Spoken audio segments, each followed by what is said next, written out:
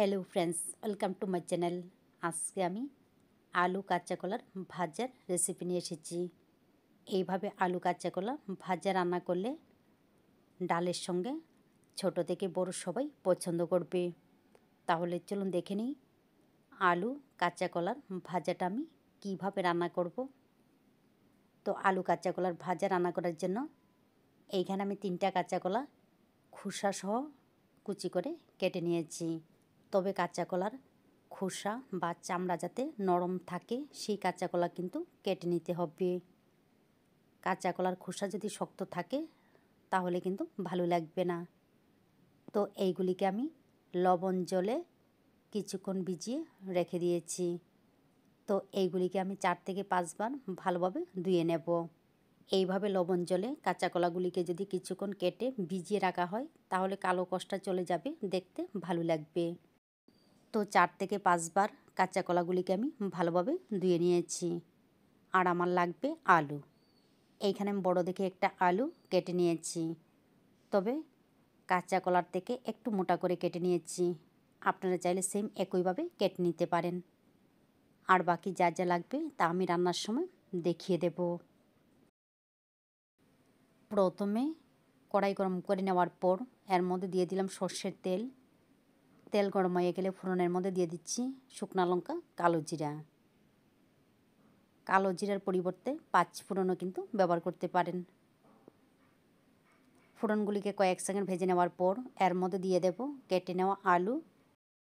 একই সঙ্গে দিয়ে দিচ্ছি কুচি করে কেটে নেওয়া কাঁচা কলা এরপর দিয়ে দেব স্লাইস করে কেটে নেওয়া পেঁয়াজ। পেঁয়াজের পরিমাণটা একটু বেশি ব্যবহার করতে হবে। তারপর দিয়ে দিলাম মাঝখান দিয়ে কেটে নেওয়া কাঁচা লঙ্কা, ঝাল বুঝে ব্যবহার করবেন। দিয়ে দিলাম পরিমাণ মতো লবণ। দিয়ে দেব হলুদের গুঁড়া। এখন এইগুলিকে মিশিয়ে নিয়ে মিডিয়াম টু লো ফ্লেমে ডাকনা দিয়ে রান্না করব। তবে একটু পর পর নাড়াচাড়া করে নিতে হবে, না হলে কিন্তু নিচে লেগে যাওয়ার সম্ভাবনা থাকবে।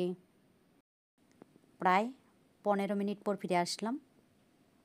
আলু আর কাঁচা কলা ভালোভাবে সিদ্ধ হয়ে গেছে। দেখুন। এখন এইগুলিকে আর ডাকনা ব্যবহার করতে হবে না। নাড়াচাড়া করে ভালোভাবে বেজে নিতে হবে। যত বেশি ব্রাউন কালার করে ভেজে নেবেন, ততই কিন্তু আলু আর কাঁচা কলার ভাজাটা ভালো লাগবে। তো আবারও দশ থেকে বারো মিনিট নাড়াচাড়া করে ভেজে নেওয়ার পর দেখুন, আলু আর কাঁচা কলা খুব সুন্দর ব্রাউন কালার হয়ে গেছে।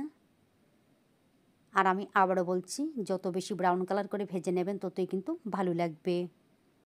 তারপর এর মধ্যে দিয়ে দেব কয়েক দানা চিনি। চিনিটা যদি পছন্দ না করেন, তাহলে বাদ দিতে পারেন। তবে কয়েক দানা চিনি ব্যবহার করলে হালকা একটু মিষ্টি মিষ্টি ভাব লাগবে, ভালো লাগবে। দিয়ে দিচ্ছি এক টুকরো বাটার।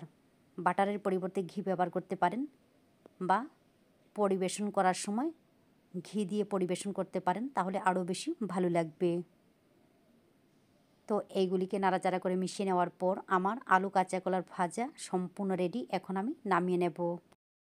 এইভাবে কচি কাঁচা কলার খোসা বা চামড়া সহ আলু দিয়ে ভাজা রান্না করে খেয়ে দেখবেন ভালো লাগে। ভালো লাগলে অবশ্যই লাইক শেয়ার এবং সাবস্ক্রাইব করবেন। আপনারা ভালো থাকবেন, সুস্থ থাকবেন, আর আমার নিত্য নতুন ভিডিও দেখবেন।